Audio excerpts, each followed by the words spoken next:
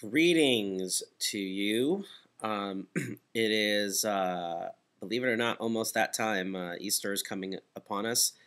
And so uh, we are going to take the next uh, week and a half here, right before Easter Sunday, to prepare ourselves for uh, the celebration of Easter Sunday Mass. So here's the schedule. Um, all the songs are up. You'll notice actually that the songs uh, that we're doing for Easter Sunday will be the same songs that we will do for the Sunday after. So basically, we're on for the next two weeks. So April 12th, which is Easter Sunday, April 19th, which is the second Sunday of Easter, and basically both uh, uh, sets of songs will be the same for both masses, exactly the same. So um, our rehearsal schedule, because it is Easter and we want uh, Easter Mass to sound really good, um, we will be uh, rehearsing for the singers. Uh, this is really important to, to write down for the singers, we're going to rehearse this Sunday at 4 o'clock in the parish hall. And uh, that's this Sunday, April 5th at 4 o'clock.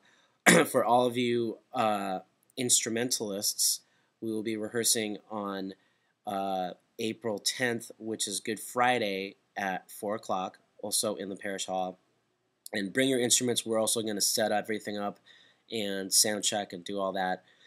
and then we will have the whole band together on Easter Sunday morning at 7 a.m. in the hall.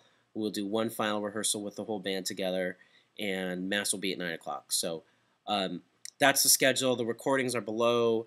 Uh, your emails have all of the music for both, and um, that's it. If you have any questions, let me know.